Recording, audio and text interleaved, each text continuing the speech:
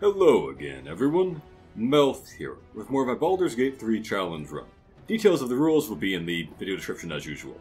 Watch out for spoilers throughout this entire series, really. So, here we are back in Jergal's little tomb. Let's talk to the man himself, We have nothing such as it is. to discuss. Continue on thy way. He'll say this, but he has a fair number of things to say to us, actually.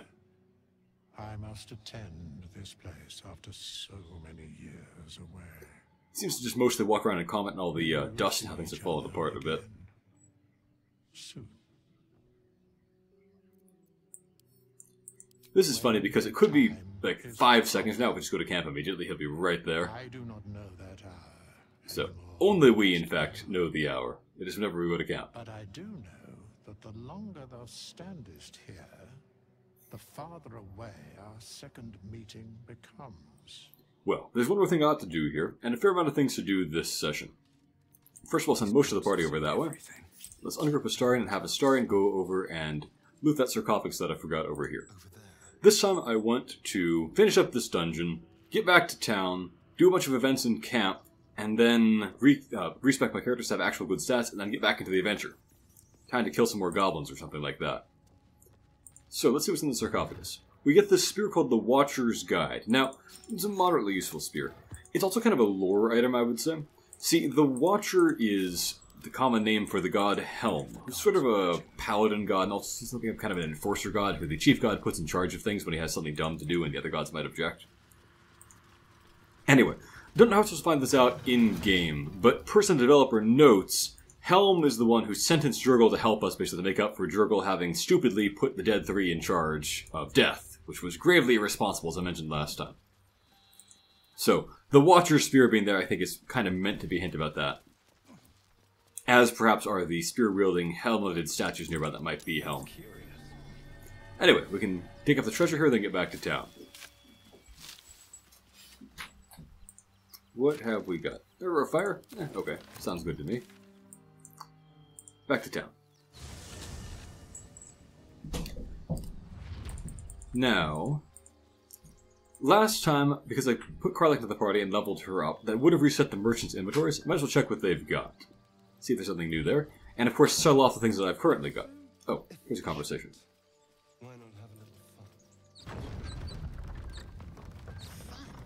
So this time, Levoing Zell is the one holding the sanity ball. Okay, let me dispel my disguise here so that merchants will know who I am and therefore I won't have wasted improving their attitudes toward me last time. So, let's mostly just sell things to Arron. I think I doubt have anything new that's worth buying. You're not the only one in need. We've got a lot of items to sell, plus a few that I accidentally sent to camp. That spell is pretty much worthless. Let's sell that. Don't need that or that. The shield is ugly. We have plenty of better shields we can use now. Book surprisingly valueless compared to some dead fisherman's love letter. Let's see. I think I want to buy these gloves. They're pretty expensive, but they go a long way to reducing the damage they take, because range attacks are hard to avoid completely in this game. So let's buy that, and while we're here, I might as well also just sell wares from this person, and that, and that terrible club, and your wares. Keep that armor, I'll be using that. The spear might have its uses, I'll hold on to it for now. Holy water I can probably sell, though.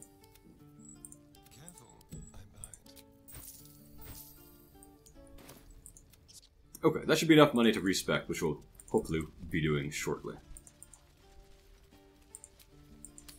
Now, some of you asked me in the comments, what will I do about the story? Because you can't really advance the story or get various kinds of quests and whatnot unless you long rest. And my solution basically will be this. If I rest now without using any food supplies or anything like that, I have spent no resources, no spell slots, no hit points, no anything. So I get nothing back from resting. So mechanically, it's like I didn't rest at all, but I can get the story to advance this way. So that is my plan, which is to rest at the very beginning of the act before I've done anything, get the story to advance that way, then do it again at the end of the act when nothing else is going to happen anyway. So that way I hope to just get the narrative advantages of being able to actually see everything in the game while avoiding any kind of mechanical restoration. Ah, here we get this conversation with Wyll and Karlach, who apparently held out until now before having this little chat. Well, I'll be God's damned. The blade of frontiers. Thought I'd shaken you for good. That'll teach me to underestimate you. This conversation would basically never happen unless we rested. They would just kind of adventure together with no comments. Come to burn the sword coast to ash. Little melodramatic, Wyll. If by met you mean hoofing it through the hells with this fucker on my tail. Shut it, devil. I know You know, there can't really have been that much time for him to be on her tail, right? Because she only recently betrayed Zariel, so it only have been after that that Mizora would have sicked Wyll on her. And then they immediately got captured by the Nautiloid. Well, devil. I don't know, she boarded it, then got captured, and then they got and you'll infested. take the blade It's hard to make those events make sense. They must have happened super fast.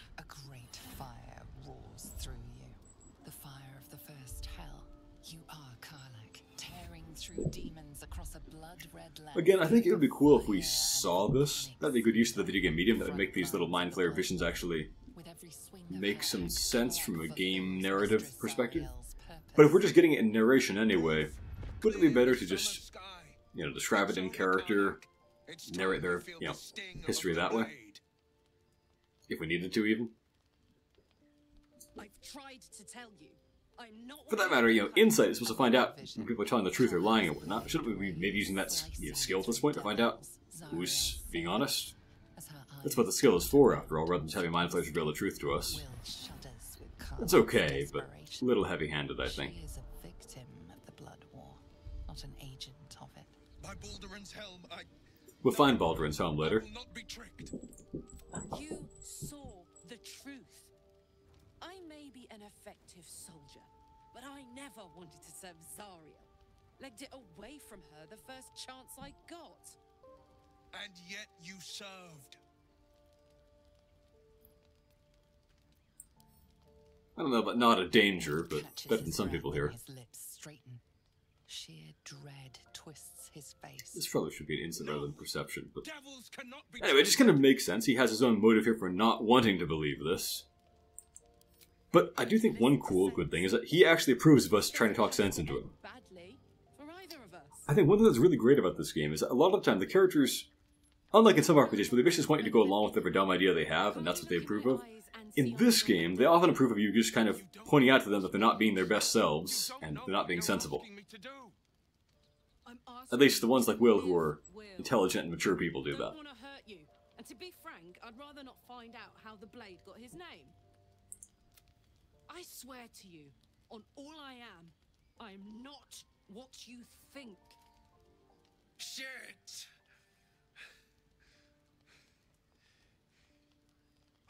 Shit. You really are no devil, are you? I've. I've been deceived.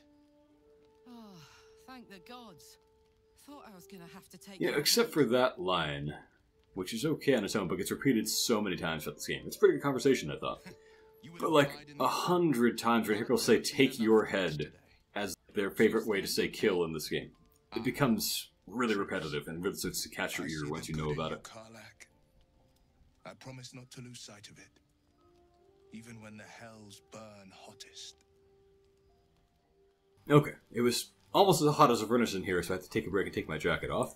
Let's see what Karlach and Wyll have to say for themselves after that little display. Even more glad he decided to stick around.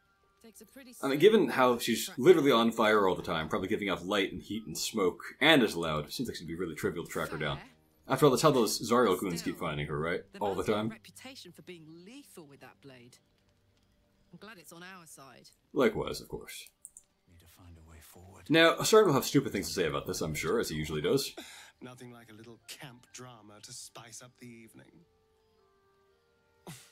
It's almost a pity things ended so amicably. Seeing those two duke it out would be fun.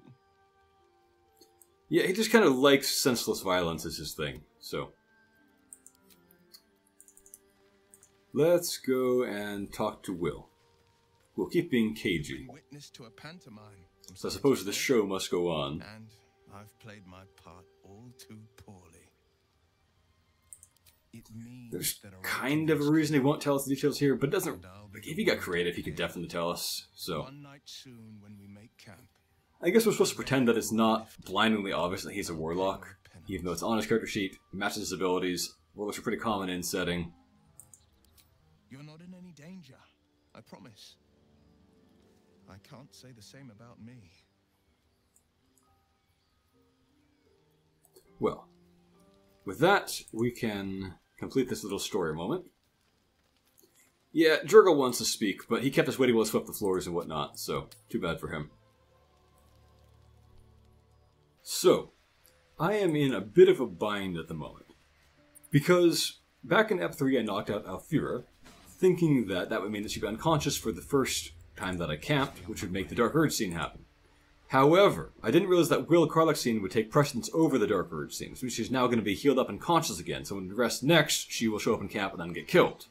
So, to save her life and therefore get her interesting quests and story events and things like that in Acts 2 and 3, I have to knock her out again. Which is not hard to do mechanically, but man, it makes no sense narratively. So, we're going to pretend this doesn't actually happen in character, I think. This is not canon. We knocked her out just the one time. I'll probably have to fight a guard over this too, so going to be a bit of a nuisance. Speaking of a guard, let me maybe disguise myself so he'll pin this on some drow rather than on me, because the guard is also a shopkeeper and I don't want to lose my good attitude with him. Get going. Making me sweat. Alright, so I guess I can increase my odds of knocking her out quickly if I trade those items, maybe. Get a little tiny bit more damage.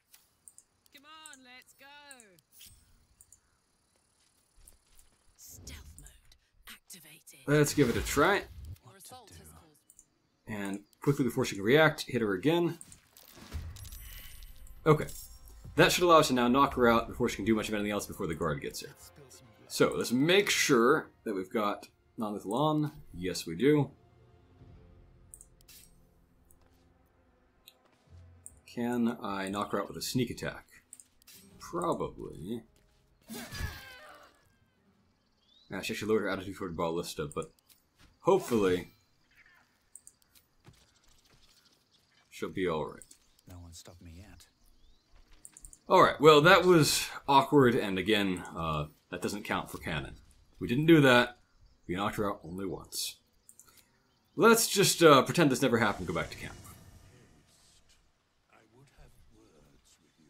Too bad, Jergal. You kept us waiting while you cleaned up your little tomb house.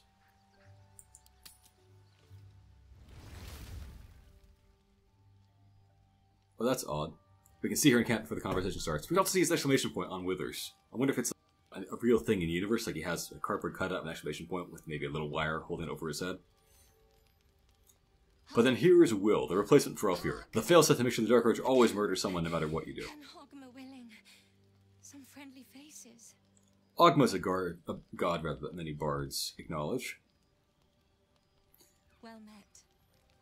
Goblins roughed me up and stole my hose when they heard me singing Hatchling Love. you wouldn't have half a bedroll. Half a bedroll. Is this to share? I, I mean, pay for my board. To me, Dragonborn look like they're covered in like spikes, spines, and scales and ridges, and would probably not be nice to be near while you're trying to sleep. But I think in character, we probably want to welcome but watch traveler who might need help and shouldn't be sent out into the dark. I'll be gone. Even though we're actually in the middle of a safe druid grove, so eh. ice blood, but I, get cold so fast. I need to be by the fire. Well, we can talk with her and get a bit of character development before she dies immediately. Just enough to make us feel bad about killing her, I suppose.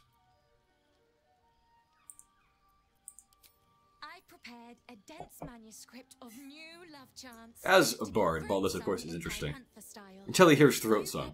don't know, but the Dragonborn And she just assumes we don't know anything about Dragonborn culture. Hmm. Love is considered irrelevant to egg duty. That's probably pretty common among human upper classes, too, I would think, in this era.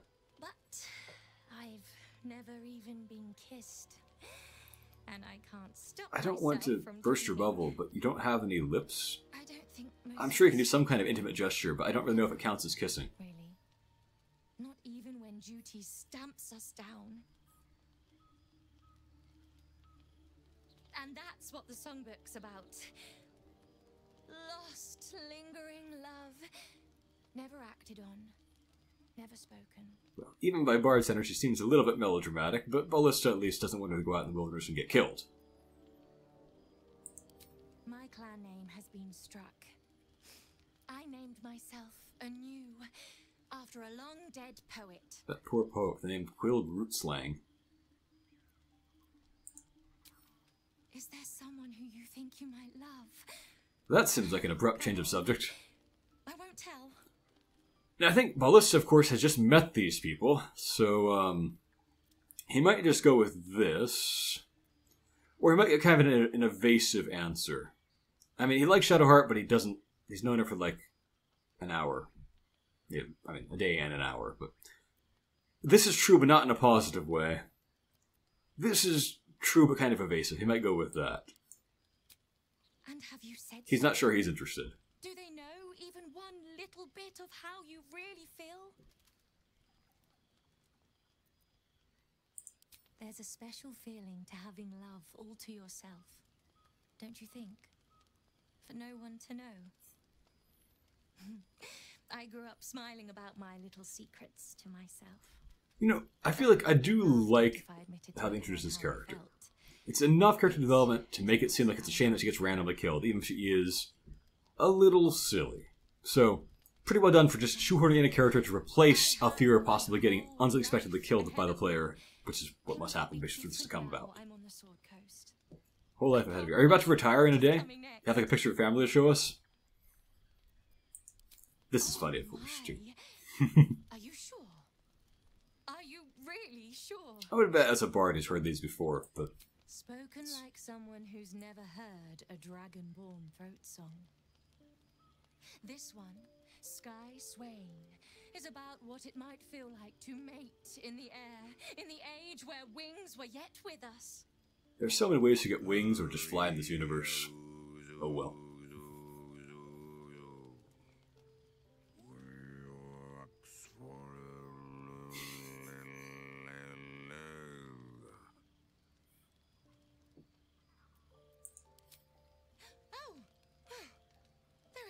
Well, as another bard said, brevity is the soul of wit, so let's keep it to that, perhaps.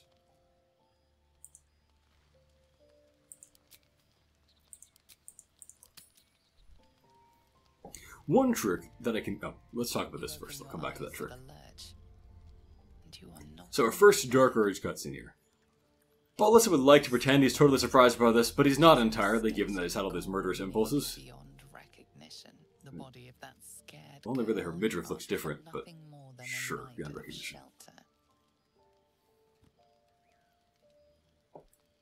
Her blood covers you, and its warmth feels like the embrace of an old friend. Wasn't she just talking about how cold her blood was? Nothing of how you ended up here, but your head pounds and aches. Well, let's see if I can pass this check. It doesn't really matter, but I just want you to notice that I can't apply my guidance ability here, or basically any other abilities. While you're in camp, your equipment doesn't really seem to apply, neither do many other kinds of bonuses you can get. Which doesn't matter now for this, which it's not really important, but it's life or death for some things later on in the game, with Dark Urge plotlines that could make you have to turn against your entire party if you fail one check, and you can't really prepare for it because you can't use items. I don't really like that. A flash of abject terror in her eyes, blood spilling from her lips. What? Lips? The last words. Well, okay, I'm being too flippant about this. Ballista is certainly confused and distraught. No matter how it appears, the body is there, and her blood is on your hands. The question flows through your mind Who are you really? That you could be guilty of such bitter business. And I was starting to wonder about that myself at this point, although, of course, for my run it was Alfira instead, when I was first going through this. Something wicked must have woken you. The contemptible pervert. I like the writing there. The word lavish is, I think, flesh upon the girl. Good choice. But where, oh, where could that monster have come from? If only you knew yourself better. I was, though, getting worried about how the Dark Urge plot would turn out at this point, because this feels like a pretty random murder, rather than, as I've been hoping, more of a mystery to uncover about, you know, what the character would be and what's a making do these strange things. The others awaken and begin to cast blame for the hot sin before you. Well, Ballista has been totally upfront with him before about his murderous impulses. He's not going to hide it now. He expects most of them will probably leave. But that's their right. That makes sense. Bright and clear as the dawning day. So he's going to try to be honest here, although the game will force me to be dishonest, unfortunately. I feel like I should have just you know woken them up to talk about it rather than just go back to bed. But that's just how camp scenes work, I guess.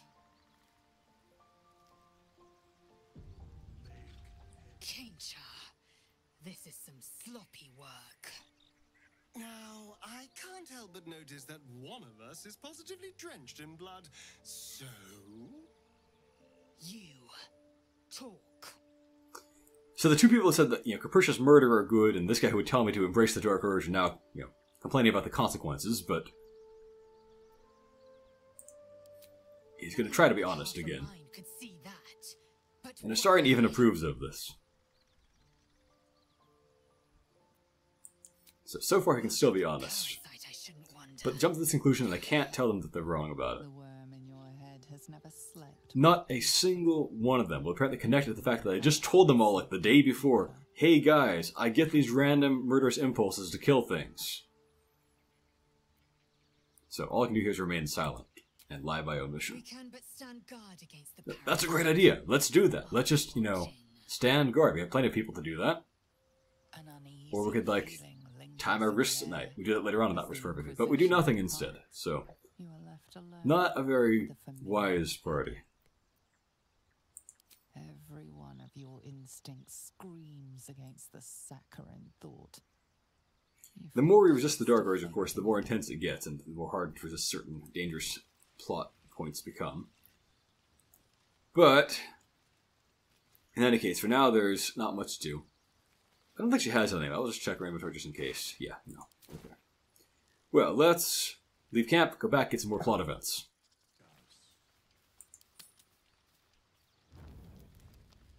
So here's Wyll's patron showing up. Hell's fire. She's coming. It was nice of her to you know, wait in line for the Dark Urge stuff to happen. I think that's a cool effect of how she showed up, too. The inky black pool that she emerges from. Well, you've been naughty.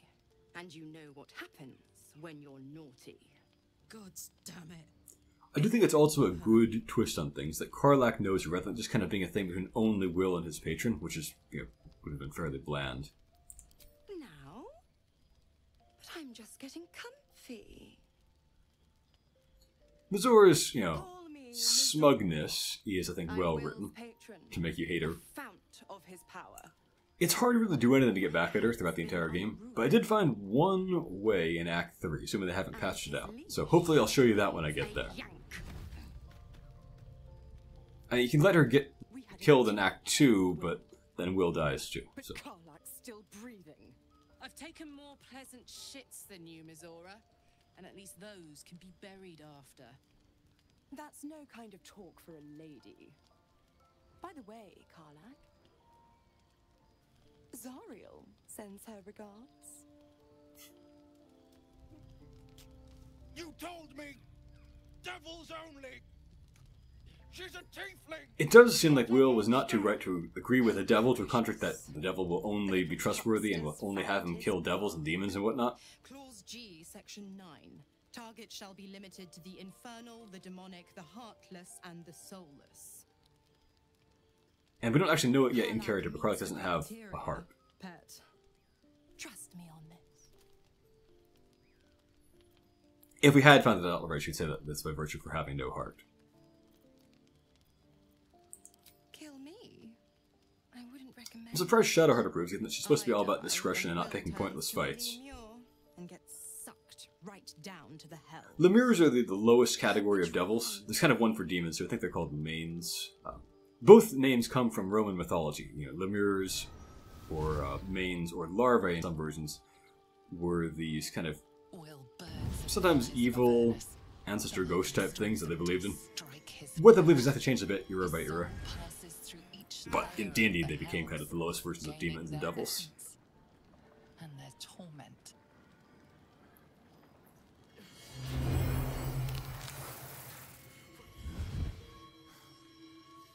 So he kind of gets his dumb-looking devil horns that ruin his appearance, and we can't just like, take a hacksaw and remove them for some reason. We're stuck with it looking like this for the whole rest of the campaign. Not having that happen was the best perk of just killing Karlach and reviving her. Forget the uh, outfit you could get. That's better. What the hells have you done? A promise broken, a price paid. You know the terms. Get used to the new It does seem like it'd probably be fixable with things like Wish, for example. Some magic even I can't undo. Limited Wish. Now, let's see how the front. And I like this, you know, Precious I. Wyll, of course, thinks he made some kind of good deal with her where he gets the power to then help be this great hero who defends the frontiers. But Eye on him, would you? I think you can make a reasonable argument that probably what just happened is the devils tricked him into becoming a less heroic figure who people would distrust, who would break their relationship off with his father, who was also a great hero, and thereby undermine heroics and goodness on the coast. Devils never do anything good whatsoever. So that's my interpretation of why I should make this pact with him in the first place. And Wyll's just kind of still being duped. But I don't know if we ever really get confirmation about that per se. Alright, well let's see what Karlach has to say about this. I'm reeling. No comment about how she knows Mizora here. chose my life over his. Been a long time since someone stuck their neck out for me like that. This is true. The bar is a little bit low for some of these party members, but You can say that again. When he was chasing me through Avernus, I thought he was just another sad merc. How wrong I was.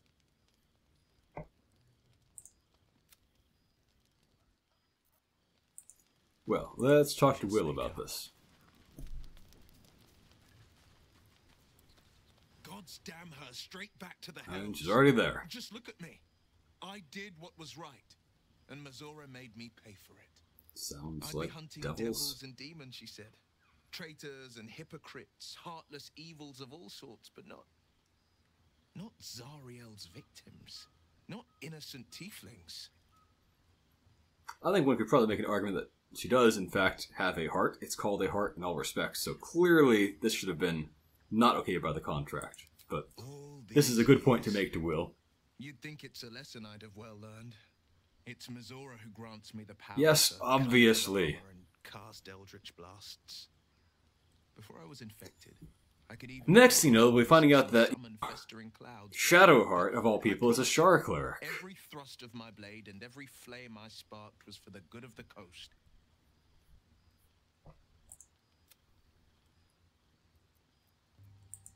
I can't utter the terms or circumstances. I like, again, if he was creative, he could definitely communicate it to us. But it's kind of a plot contrivance here. and forbidden, unless Mizora permits it. But I'll say this: the moment I Probably saves the writer's trouble actually writing up a pact, which would then be yeah, difficult and possibly full of loopholes people could point out if they were able to see it in writing. All I can give you on that is my solemn And word. maybe he's right about that. But I think when we hear the story that maybe he was kind of duped into it, and it's because the devil's setting him up for a fall. In any case, off to bed. Again.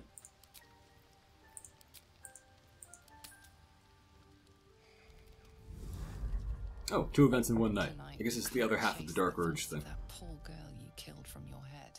You wonder what she looked like as she died. Squirming, skewered in abject agony.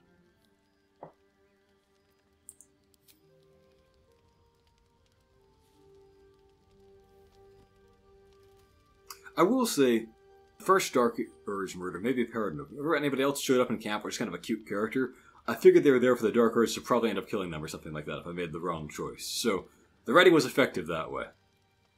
Like that kid, uh, Yenna, I guess, in Act 3. I was sure she'd either get killed by Orin or by the Dark Urge. And I guess Orin is a possibility. Such rushes from your thoughts of the dead woman. Why did she die? The mystery gnaws at your pounding heart. And this is when I, on my first Urge run, went, oh no. Oh. Because here he is calling us vile as if it was a compliment. I absolutely hate this kind of cartoony villainy where characters call themselves evil or vile proudly. It's just the dumbest thing. And have a goblin for a butler. No class whatsoever.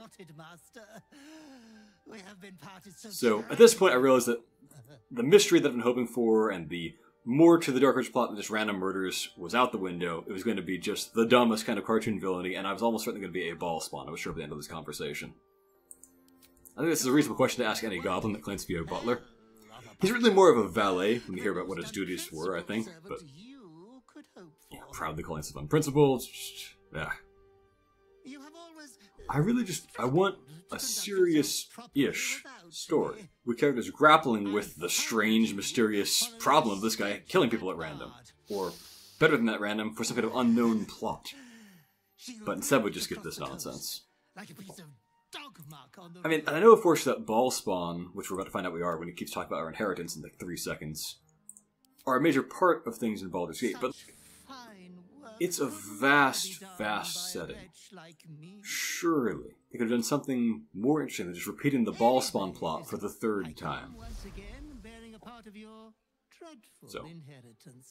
As I said, the Dark Urge thing was one of the few parts of the end that really disappointed me a lot. I was hoping for something interesting and mysterious, and to find out some, I don't know, a demon, or some evil god that isn't just Bhaal, or something even more creative was behind things, but no. I'm sure Master will be better Fine, breeding another reference to us being of Bhaalspawn. breeding is never down for long.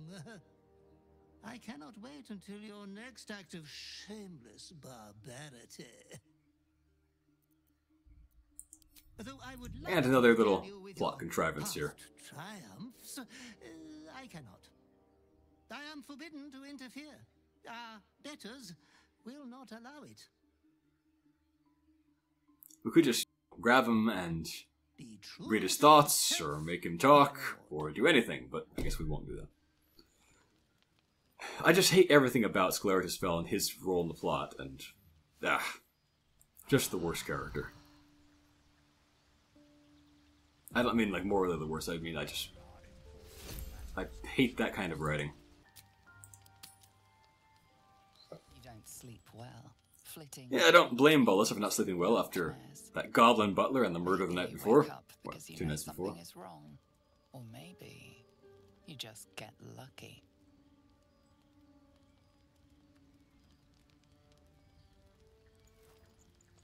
Did you really think it was good to pick the person lying right near the fire in the light right now could look up and see you? I mean, apparently no one's on their bedrolls for some reason tonight, but It's not what it looks like. I swear. I. I he just swore something that's false, so he's adding perjury to uh, assault and being a vampire and whatnot here. There in the dim It's exactly what it looks like. him for what he really is. Yes, obviously he's a vampire. A. It did kind of bug me we couldn't just figure this out when it was so obvious, but oh well. We have to kind of put up with the uh, alleged mysterious characters. I've never killed anyone. Well, not for food. I feed on animals. I too like his little Deer. Kobolds. kobolds line there. Whatever I can get. but it's not enough. Not if I have to fight.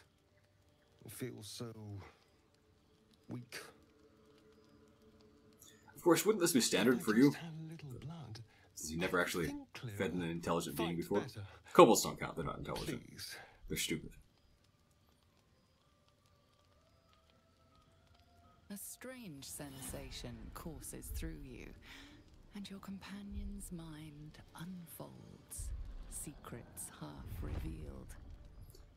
I guess we can't do that because you haven't done any rests and have used his illithid power once a long time ago. But basically, we just find out that yeah, he only ate animals because his master compelled him to, rather than out of any moral qualms.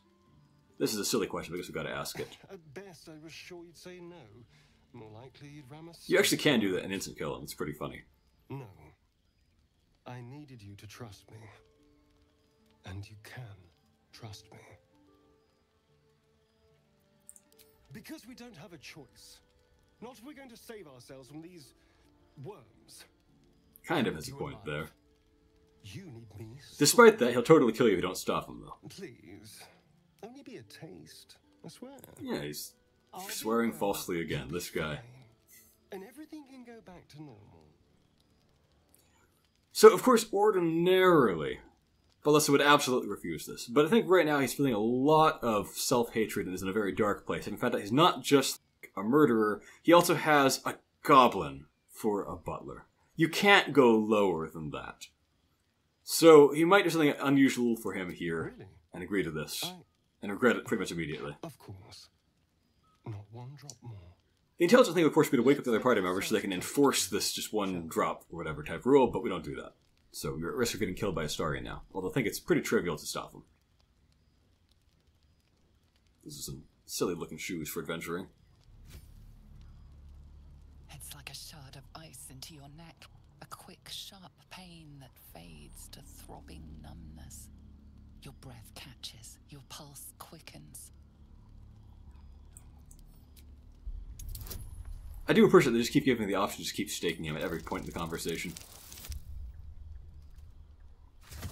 That one's pretty much an auto success for my character, unless I rolled a 1. But if you fail that and fail to push him away, he'll just will kill you. Of course. That. That was amazing. Good voice acting here. finally clear. I feel strong. And he will be a little bit stronger. In fact, the high elf races, I would say, not the very good overall. But Astarion in particular is pretty much the best party member just because of his happiness bonus that we can see you know, tomorrow. Shouldn't take long. So many people need killing. And he immediately makes Bolus feel bad about even this perk of him being powered up. You're invigorating, but I need something more filling. This is a gift, you know. I won't forget it. You watch as he stalks towards the forest, stronger, more confident, ready to hunt. You forgot to crouch, though. That gets funnier every time you say it, Withers. Alright, let's talk to Astarion here. Good morning. How do you feel? A lot of regret, and he probably feels awful too. A pity.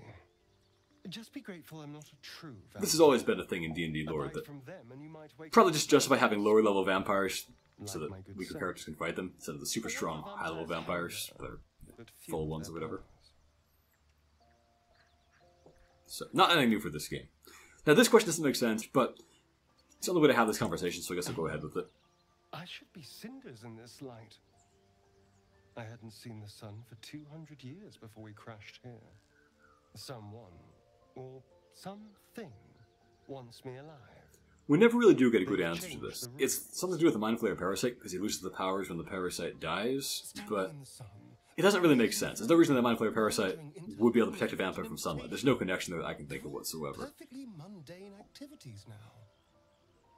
As for my Or no reason they would want to, because Mind Flayers canonically hate vampires.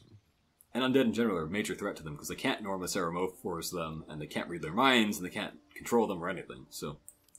That's my theory, but who knows? I'm just glad you're being sensible about these uh, revelations. I was worried people might turn up with torches and pitchforks. I do like this moment. Though there's still time. Vamps don't scare me, as long as they keep their teeth to themselves. No sense judging someone for who they are. Except devils, obviously. And Demons. And goblins. For his sake, he best Yugoloths. not develop an appetite for Githyanki.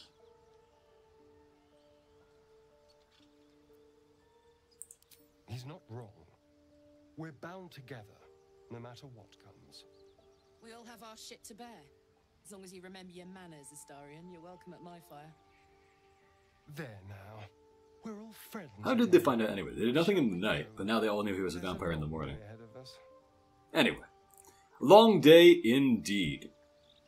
I think there is one more little story scene I've kind of got to do before I can truly get into the adventure with no long rest whatsoever. But should be a pretty brief little aside there. The reason I've got to do it now is that otherwise the game will force you to do a rest, and it'll actually be a full rest even with no supplies. So if I don't do it now, well, I don't need healing, We're almost now we don't need healing, it'll kind of spoil the run. So, got to do a little bit of adventuring so I can unlock that last scene that'll force a full rest. Do that while I don't actually need any healing, so it won't actually do anything for me, and then I can get on with things properly. And that delicious moment we shared. You know, I don't think we shared the deliciousness of that moment. Insofar as I was delicious, that was a one sided experience. The very same. I've had this condition for two centuries, but truth be told, you were my first. In all these years, I've only ever fed on beasts. Drinking the blood of thinking creatures is a different thing entirely. Bolus is not happy to hear that because he doesn't like the idea of Astarion feeding on any other creatures. Can't help but wonder how the. Especially given that he seems to just kind of be murderous and self-centered in general. And now he's saying this out loud. I better they saying it out loud than that he's just plotting it, I guess. He's thinking this, but he won't say it. He'll just be watching Astarion. Alas, it doesn't hurt to ponder the question. Take Gale, for example. He strikes me as someone whose blood is rich, refined, like well-aged brandy. I think you're being classist and just assuming that the rich people like Gale taste better. But the give? What in the hells would she taste like? Probably like mind flayer, slime, and hatred. Yes. Heavens forbid we have an interesting conversation. Still, I am intrigued by the possibilities.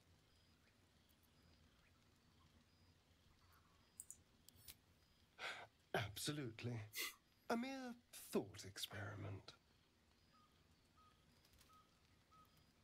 So, in the spirit of theoretical questions, if you had to take a bite from one of them, who would it be? I wonder if this is only a dark urge answer or if anyone has it.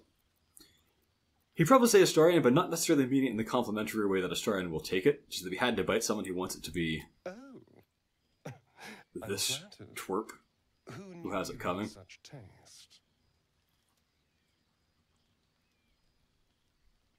Unfortunately, all this talk is getting me hungry. I better find something I can actually sink my teeth into. Don't tempt me, darling. You know, Astarion, you might consider like wearing a breastplate so you can't be staked in the heart super easily. I guess we can take care of that once we respec him momentarily.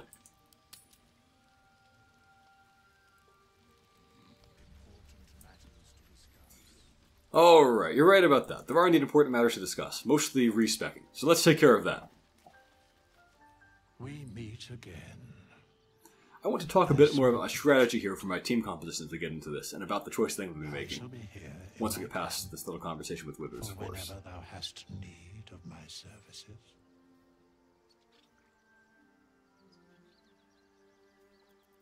I wanted to just say this because his, response is pretty funny, well voiced, I think. No. And of course, we can't really enforce our wish here because he's invincible. A mending of the threads between. Which isn't the most interesting thing, but it's fine. Should thou or any of thy compatriots perish, Now, this again kind of would, in D&D terms, trivialize the whole problem with the Mind Flayers because it's a canonical thing that if you fix a Mind Flayer parasite, you can just kill the person, remove the parasite, and then revive them. And if he can just revive people without even needing the body, which is what he can do, it should be super easy to fix this problem. But we kind of just pretend that doesn't work in this game. because it is my calling. There is little else. Shift looks over to the side, not wanting to comment that he's, you know, the old god of death. And all he asked for is a small amount of gold, so anyway. He doesn't comment on this capability, but that's by far his most important one for this run, because of course it's permanent, so I won't be reviving anyone. So as I was saying, for a run like this, team strategy is important. I want a party that can cover all bases and support each other. Now, there are two main areas of threat to prepare for. Firstly, some conversations and skill checks can either outright kill party members or cost you opportunities or party members if you fail them. In a run where you can't do any save scumming, that's a big deal. My main character in particular has to handle many such conversations, and Bard is simply the best class for the job. You already want to have Charisma as a Bard, which is the win conversations stat, and of course you also have more skill points than almost any other class, and more double proficiency than almost any other class, and you also get this unique enhancement called Jack of all trades, you get bonuses to every single skill that you don't even have, or things that aren't even skills. Plus you have spells to enhance yourself further. So, really, really good at that job. Other party members can help with things like guidance or resistance. The other main category of danger is, of course, combat. A run like this is a marathon, not a sprint. I need to endure many combats, and I can barely heal at all. So, as much as possible, I need to avoid taking damage in the first place. Now, one way to do that is just have a good armor class and good defensive abilities, such as a Lore bard's cutting words or a light cleric's warding flare to make enemies miss. But that should be my last line of defense because it's the most luck based. My first line of defense is maneuvering to use the terrain to protect myself. That's the best option because it's free. Doesn't cost any spell slots, doesn't usually cost any actions either, and can be very effective, but it is very battlefield dependent. To maximize that, I want to have party members that have good mobility, in all three dimensions preferably, and of course, which also have range attacks so they can stay away from melee enemies. My second line of defense is disabling enemies with status effects and debuffs so that they can't attack me. The best status effect in the game is called Dead. Most enemies are vulnerable to it, it means they can't take any actions whatsoever, and the duration is really long. So, I want to inflict dead as fast as possible on the most dangerous targets in every combat. That starts by having every party member consistently win initiative, and then continues by having people do good damage as quickly as possible and as accurately as possible.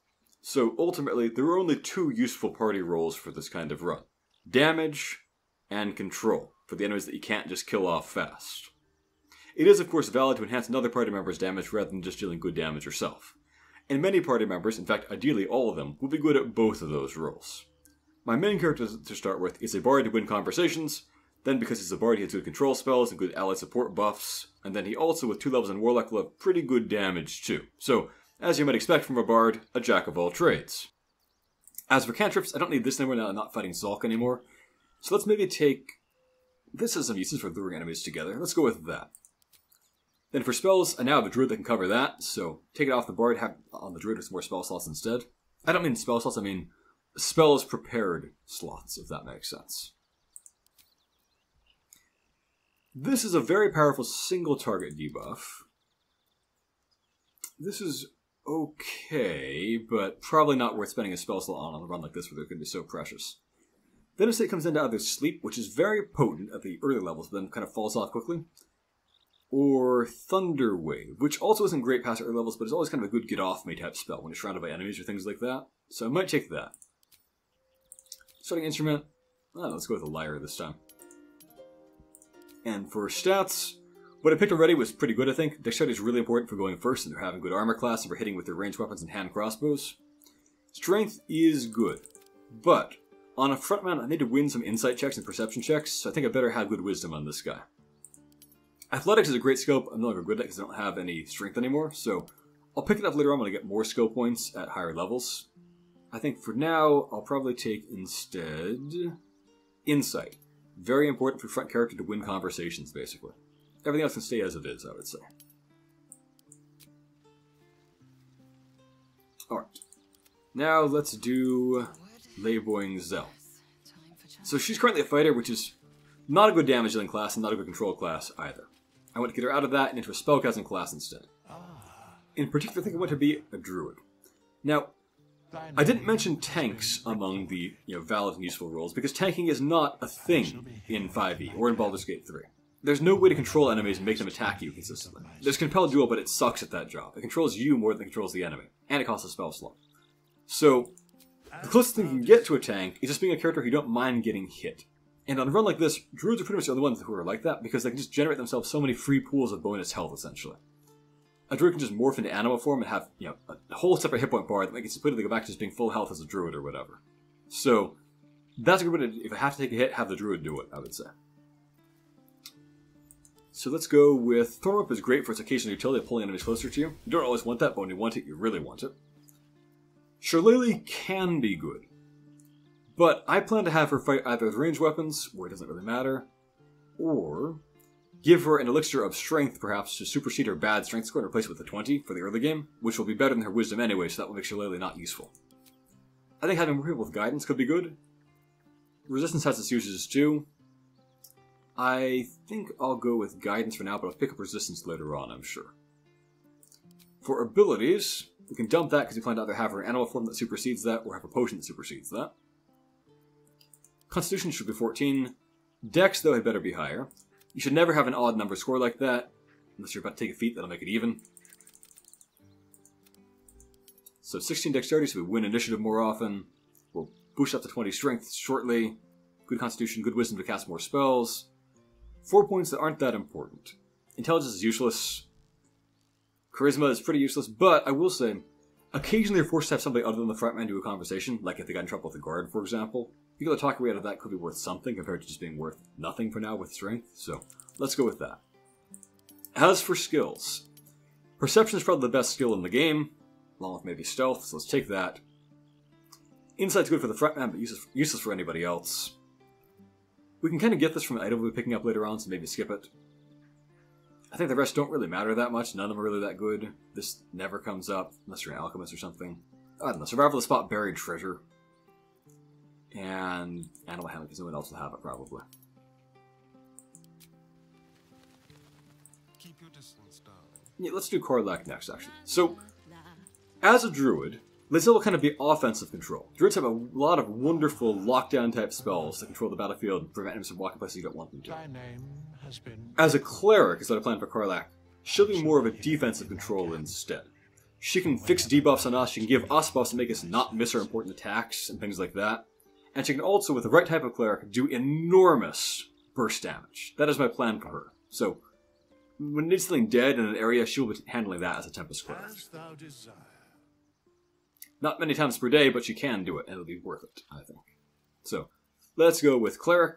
Let's go with Tempest, which gives us all armor proficiency, all weapon proficiency, and then most importantly, we get some good spells, and in future levels, we get some good perks too. This one is kind of nice, but I hope not to use it because I hope not to get hit. So. Deity doesn't really matter that much. I don't know. Let's go with Tyr, because they find we confront the fake paladins of Tyr later on. Cantrips. We of course want these two. She has this from her race. This would be good later on in like Act 2, but it's not useful right now.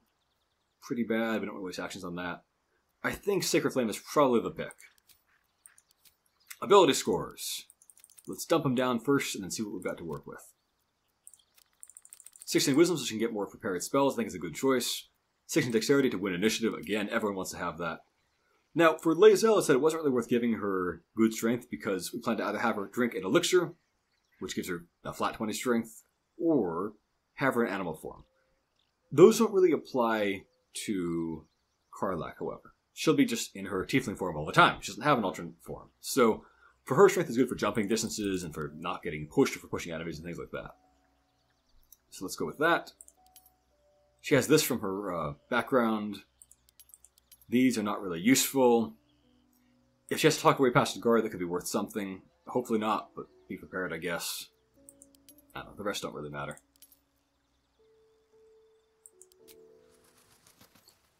So pretty much everyone else has been mostly controlled with some damage. Astarion will be our primary damage dealer. And I think it probably is best to have like no more than two primary damage dealers in your party, because there are big diminishing marginal returns. There aren't really that many great items for any one, you know, thing in the game. Limited number of good spellcasting items, limited number of good damage boosting items, and so forth.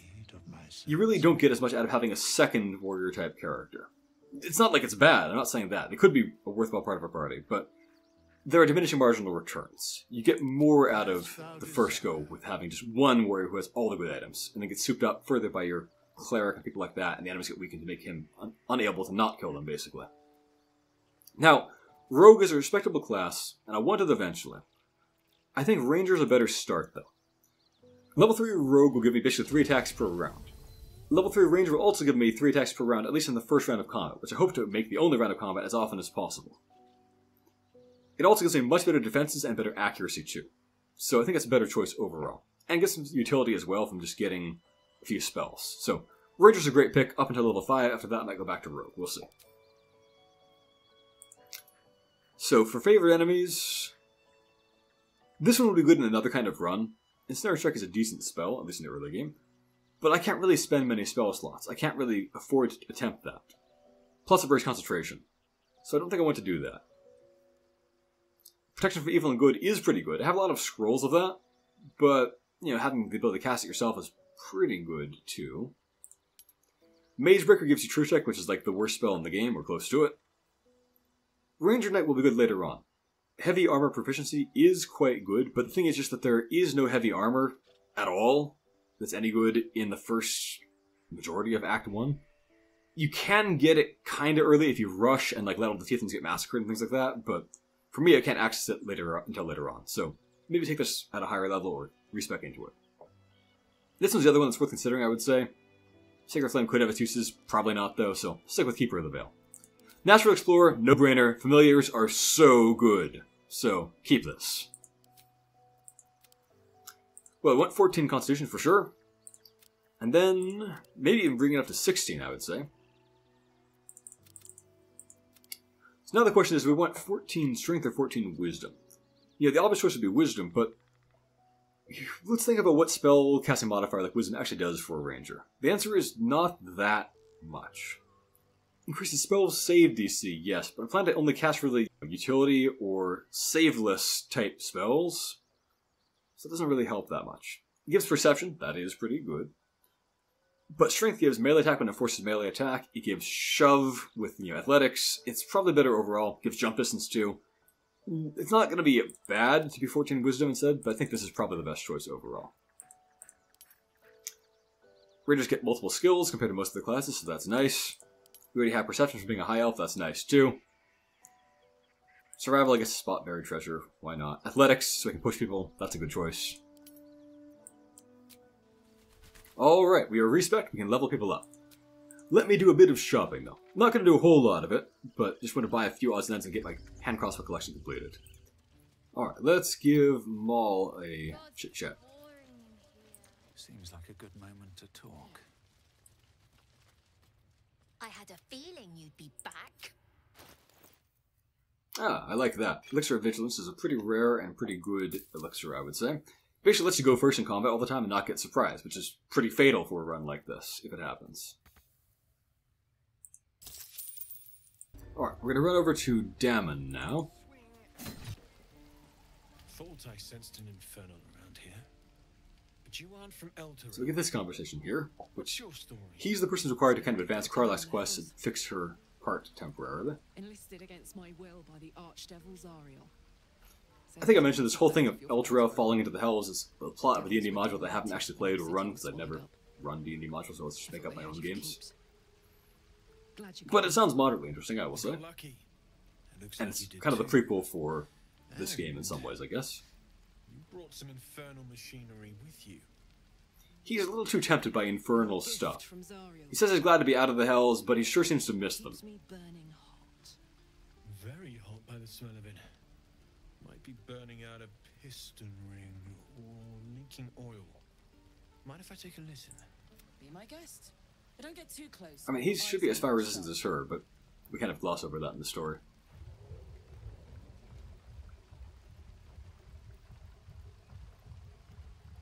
Phew! You really are burning up. Whoever put that engine together. We'll find out more about who put it together. She's kind of a prototype, and they made better engines later on. So this is kind of a good setup for that, I would say. I might be able to help. But I'd need infernal iron. And a prayer that my hammer will survive the work. Not to worry, the hammer will be just fine. Isn't meant to operate outside of Avernus. I'm not sure how much longer it'll keep running the way it's going.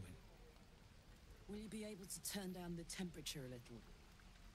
Worried I'm gonna go. She doesn't actually do any kind of on-click damage to enemies, so One of these days. unless you use the soul worry coins, but that's not really. the first. Even that, it's not really Help on-contact damage. Help both. If we can cool you off, it'll stabilize your engine and allow you to touch whomever you please. I've sensed some during our travels. Conveniently, can give you a question marker. I know where it is. We'll get a lot of it in Act 1, actually. More than we need, really. Once you know what you're looking for. Especially in Act 3, you get a ton of it that you can't use anymore for some reason. Possibly to, you know, I don't know, cut content or something. But we'll see. Meanwhile, I've still got plenty of weapons and armor in stock if you're looking to load up. We'll see. Let crossbow, no hand crossbow. Okay. Well, let's do a level up and see if that changes. So, I mentioned before I want to take two levels in Warlock. The justification in character is that he went to the Hells and was touched by hellish power, so take it for that reason. Friends is great for the frontman to have. Be careful who you use it on, because it does make people like you less, which could even start a fight. But if you know when to use it, it's very powerful. To win social rolls, basically. For spells, Command is by far the, you know, the standout. Hex is runner-up. Not many good first level spells here for this kind of run, to be honest. But, you know, Command is good. As a Fiend Warlock. Over here, I think now I have so many scrolls of protection from evil, and that starting to cast it, maybe I'll take Expeditious Retreat instead. Don't expect to use it, but I'll take it. And then here I'll take Agonizing Blast and Repelling Blast so I can be a decent archer and push people back. That's a good mix of damage and control right there. All the more so if your party is all ranged, as I intend for mine to be before too long. So, Yeah, I'll get back to preparing spells once I have my whole list selected. For now, I'll just accept this garbage. But here's an important feature. This one here. Lets you maximize your thunder lightning damage once per short rest. When you get the right combo going, that's a lot of damage. Not many times per day, but you can just nuke certain encounters. So I like that. I feel like it's quite strategic to have to manage that kind of powerful few times per day resource on a run like this. Her race is her spell that's not really useful because it's only good for melee people, which I don't intend her to be. I'd say the Zariel Tiefling race is probably the worst Tiefling. I think Asmodeus is probably the best one, for most purposes. So, spells. Bless, but one of the best spells in the game. You want that every character can get it. Command, very good. Situational Guiding Bolt, I'll think about it. Hope not to ever need Healing Word, but sometimes you need it. Sanctuary, hope not to need it, but sometimes you need it. And Aid will be great when they have a few higher level spell slots, I think. Silence is something that you often need to have. Hold Person is very all or nothing, but very powerful when it lands. I think I'll probably not take that. I could probably do without it for these early levels. So that's what I'll go with for the time being. I might change that up later on. Let's take a look at Dammon again here. Got an unmagical hand crossbow. I guess we'll take it. Hopefully I'll get more magical ones later on, but, you know. At least it's a complete set now. So, leveling up Lae'zel. Want to keep her as pure druid for now. Now, the subclass is a tough choice because, so, Moon Druids in 5e were phenomenally powerful, just broken at level 2. In this kind of run, I think that Circle of the Moon in this game is pretty bad, because in this game, every druid can kind of morph the same way that Circle of the Moon Druid can do, which takes away its special thing. We can all get powerful wild shapes. And furthermore, the Moon Druid's other supposed perk is able to morph as a bonus action rather than a standard action. Well, that might sound appealing at first, but there are some downsides to it too. See, pretty much every animal form has a generic attack that is okay, and then has this powerful special move that takes a bonus action. And so the upshot ends up being that if you're Circle the Moon Druid, you can morph and then do a generic attack, which isn't that great. But if you're any other kind of druid, you can morph and then do a special move, which might be what you're looking for. So they might actually be better in some ways. Circle of the Land is mostly the more spellcasting type, and spellcasting is powerful, and I can use more spell slots, so that's pretty good. Spores is kind of the weird one. You get some necromancy type stuff, you get some just extra damage. I think I can use extra damage. I think there's at least an argument to be made for Spore Druid, and they get more useful perks other than that, so they're probably the best choice for my build overall. I'll come back to these next level, once I have my full selection, so not going to worry about too much now. Useless jump, because we have actual good jumping ability. Let's take Long let's take Jump. Faerie Fire is phenomenal. Entangle is pretty good sometimes. We've got some people who have Healing Word, but can probably pass on that. Pass Without Trace is wonderful if we can uh, you know, spare it. The whole party basically never fails stealth checks. But it won't be abusing stealth here, so it's less useful for me. Spike Growth is extremely good, like the standout level 2 druid spell, I would say. The amazing battlefield control. So one more spell. I think I'll take Thunder Wave for when it deal AoE damage. Useful once in a while.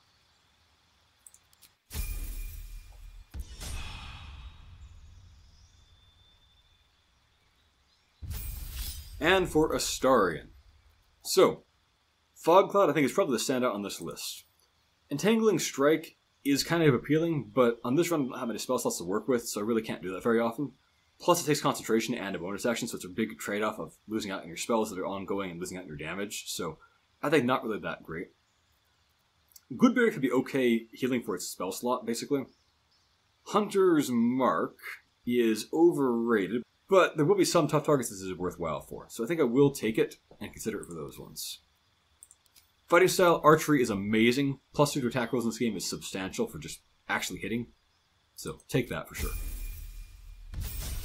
Level 3 Ranger, I think no-brainer choice Gloomstalker here. They get so many great features. They get this one where they get plus 3 bonus for initiative is wonderful, just always win initiative. You love that.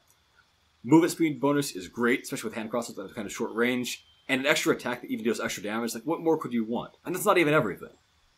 You get Ultra Dark Vision, which doesn't matter that much, but hey, you get it as like a perk on an otherwise really great already class. And you get the ability to hide as a bonus action, just like a thief or just like a rogue could. That's also nice sometimes. And you get visible to turn invisible. I don't see that get that much play in this game, but it's something. And this is great too for you know guys just have to fit into holes and whatnot. So just a truckload of great features. Gloomstalker is really really good. Yeah, maybe I should take Goodberry, but I hope not to use Goodberry. So hopefully this is, ends up being the wrong choice. If you know what I mean.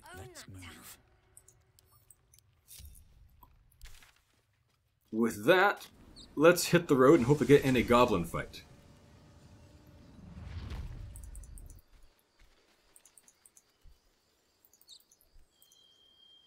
And then let's have Astarion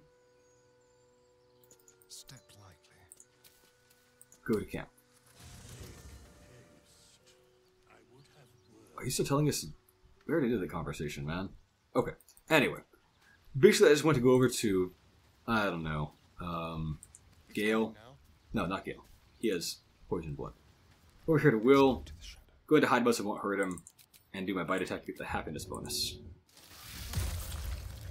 which gives me plus one to everything, which is just incredible. That, as I said, just makes Astarion just the best companion for pretty much every kind of role that involves any kind of you know, important everything. role to make. Uh, here we have Eridan's group, the Dead Companions. They go to the little quest here. Might as well do that. Busy with the foul bloods in Elson's Grove. Not no more. The contract didn't mention no goblins. I would have prepped the lads, bought better weapons. The kind that leaves half your crew dead. It was a, a criminally undetailed, inaccurate contract that put them on completely the wrong trail because the guy who wrote it was an idiot. A high int idiot. To spend it.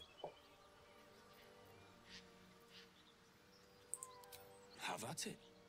If you think you can do better. Like a sudden ex- expression change there. Supposed to be hidden under the temple where the goblins jumped us. I'd give you a map of the temple and wish you a happy funeral. But my mate Brian kept hold of it like his own sodger. Goblins made short of the fat old chunk. He's pretty callous about all his dead guys, but Can show you where we turn back. oh well. If you feel like dying. Don't thank me. So he says this, but then when you get to Baldur's Gate, having done it successfully, then try to you know tell you that you owe him a share of the reward, and Glad to be rid of the then later on he'll try to steal the reward from you if you refuse. That, and it's a whole thing. We're wasting time. I think we already looted these guys. They'll become okay to loot again once these guys are away. They are just clipping right to that Goblin Town wall, aren't they? Okay. So this is a place that really rewards exploration, I would say, which is great. If you go up here, it's clearly an ambush. You can see the goblin shot people here. You might be able to spot the goblins up there if you have good spot checks and whatnot. So you could walk in and get shot, or walk in and you know, do diplomacy. But if you explore a bit, you can find there's an even better option. So I'm going to do that. Are you, is on her way, or anyway, exploring a bit? Let's go over here to these creepy woods. We'd also meet a dog over here, perhaps, and take care of that. He'll join us in camp later on. I realize I don't have animals speaking on right now, so they just you know, deal with them the old-fashioned way.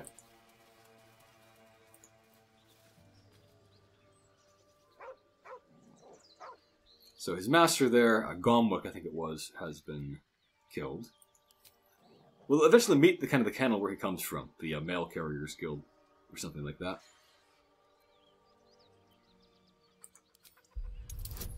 I can do guidance on this one. That's an easy success. You see a name etched into the leather. Scratch.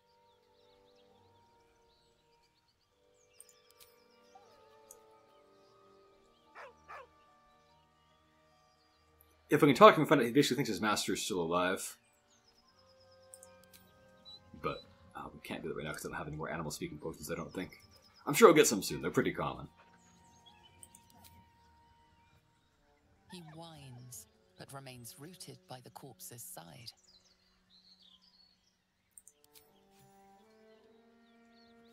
So we'll get him in camp next time we go there, I think. Now, hopefully, Carla caught up during all of that. No.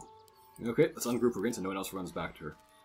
There she is. Well, that's not too far off. Alright, come on, Karlach. Well, speaking of people falling behind, let us cast Longstrider on everyone. And for that matter, let's also summon up your familiar.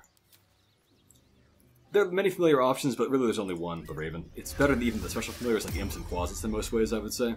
So, definitely Raven familiar. Let's go with Astral Knowledge of Dexterity. So you get Stealth and Sleight of Hand and Acrobatics to avoid being pushed. And then let's start throwing out Longstrider on everybody. No time to rest. Now I should switch up some weapons here, I suppose, too. You've got that, and you can now finally use a shield and armor. We don't really have great armor for you yet, but that'll help improve your armor class a lot. There's a shield that'll make it even better. That's what we're talking about. You need a shield too, I would say, and a short sword instead of that maul. There's another shield. That's good armor class. That's what good armor class looks like at this point in the game. And we have two hand crossbows now, so no more of that for you. You're being upgraded. Hopefully we'll get some magic ones soon. And for me, there's gloves so I can deflect arrows. I think everything else is okay for now. Could use that elixir, but I think I'm going to try to save it. I just want to get the two things out of the way, and then get that little cutscene I was talking about, and then move on.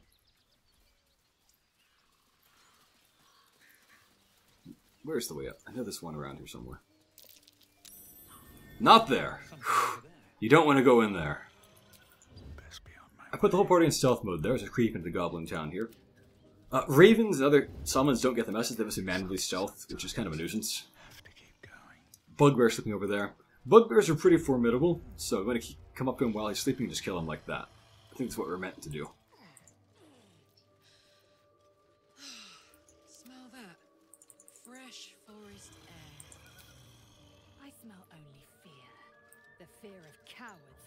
If we get close to him, we then do a critical automatically with our great sword there for some massive damage. I do not take days off. Good start. Oh, everyone else is still in stealth. He's he's uh, sleepy boy apparently.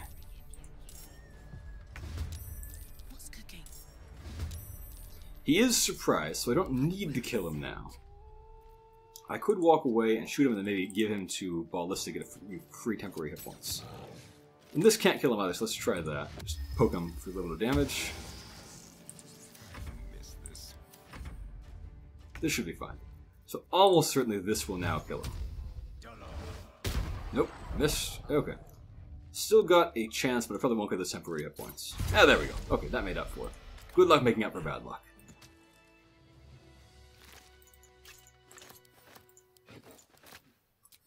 Alright. Let us sneak on over here and get up to the roof where the goblins are waiting for us and ambush the ambushers. What's hiding here? Bit of jewelry there. That's money, I guess.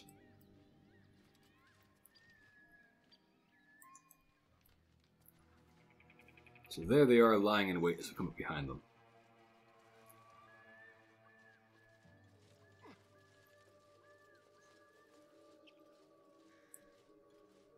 Good thing the armor doesn't actually clank in character, I guess. So here for this one, I think I want to go with pushing the person off the cliff to hopefully death. With a fast person who will then hopefully win initiative. Okay. So they try to talk to us there, but then they finish falling off to their soon-to-be death. Let's take out that tracker because they can hurt us. Let's take out this tracker up here because they can hurt us. Everyone else is unimportant in comparison.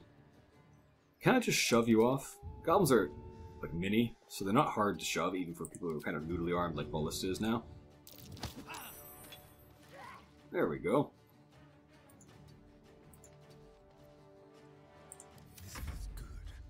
So this is the first round of combat, so he's got his Gloomstalker super shot. So let's do that.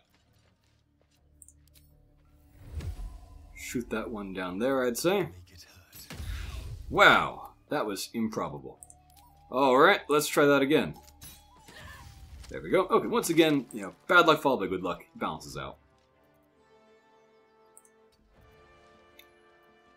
One HP guy down there, or this one over there. That's probably better use of a Astarion's comparatively good shot. So let's go with that.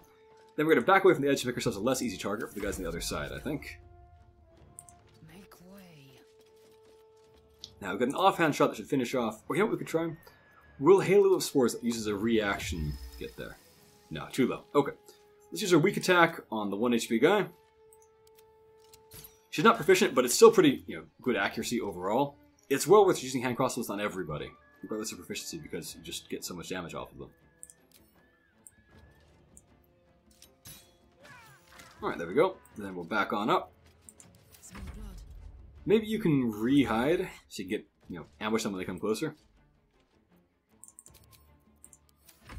Uh, you, I guess, likewise can re-hide.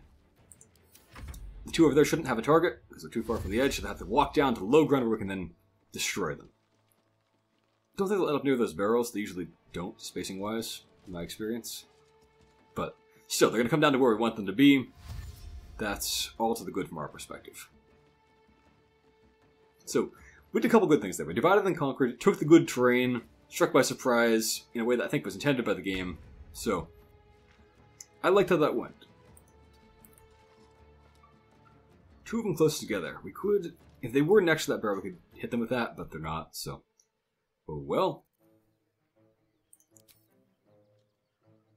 Ah, if I get a little bit closer, I can get rid of that disadvantage. I should do that. Ah, still got it. Huh. There we go.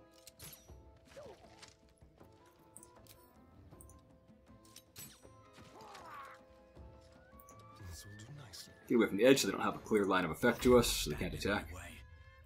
Victory awaits. On the move. She has much worse accuracy because she it doesn't have proficiency. But it should still be good enough to probably hit with one of these attacks. I could try this instead. It's weaker but more accurate. Might be worth going for. It's something. Another fight.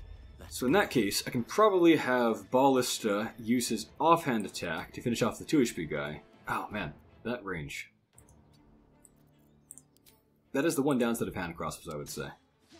Ah, okay. He could push back that Buyog,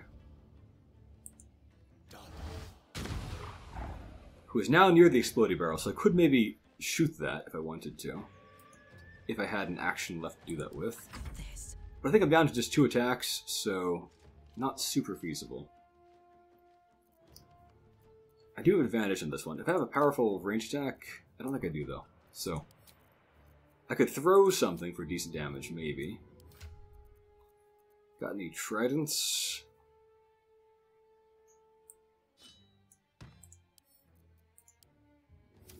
Might kill with this height advantage. There we go. Let's see if I can finish this guy off too. Uh, if we get closer, let's see if we can finish this guy off too. There we go. So, not a scratch on me. Alright, we've got more goblins to fight through, at which point we then get that last forced rest out of the way, and then move on to the adventure proper. Thank you for watching, everyone, and a special thank you to my Patreon supporters Master Knight DH, Jackie, and Lino, George Grin, Travis, Gregory, Danny Hall, William Wakefield, Jeffrey Morse, Dylan Wagner, Just Becca, and Jack. Have a great day, everyone.